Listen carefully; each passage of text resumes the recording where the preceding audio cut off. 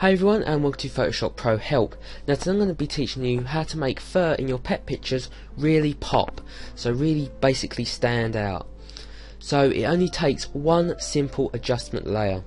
Now you might be thinking that that's way too easy, you might need to do other things to the image, but I promise you this, that it only takes one simple adjustment layer to bring back the nice golden coat of any animal. So Take this lion for instance, it's got its lovely golden coat and you can really see the colour and fine detail. Now if we just take the adjustment layer off, see what I mean?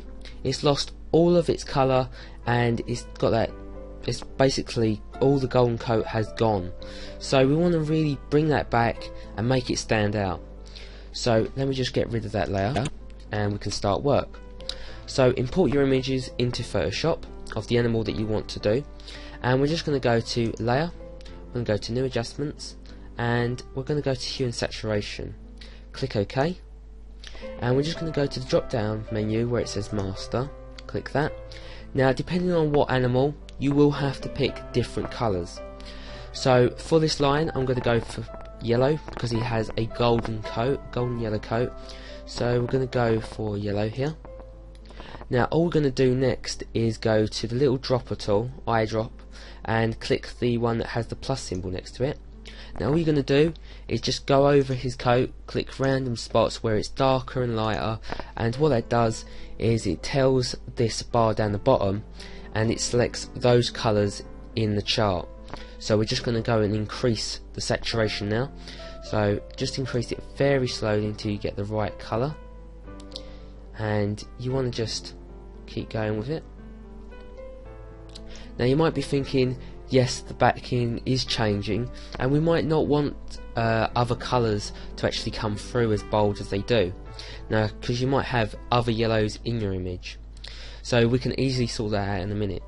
So we're just going to just increase the saturation a little bit more. So around about there. And then we're just going to hide that.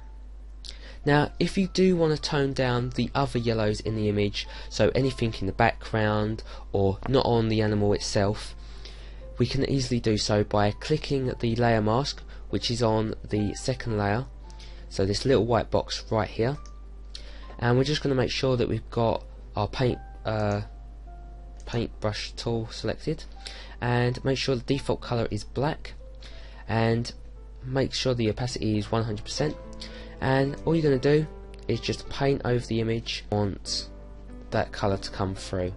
So just over the background for me just take all the yellow away making the line just stand out that extra bit.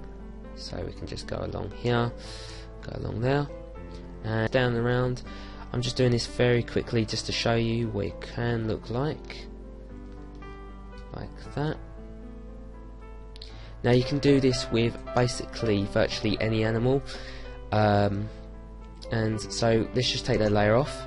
As you can see it's very bland and back again and it's got its lovely golden coat back again.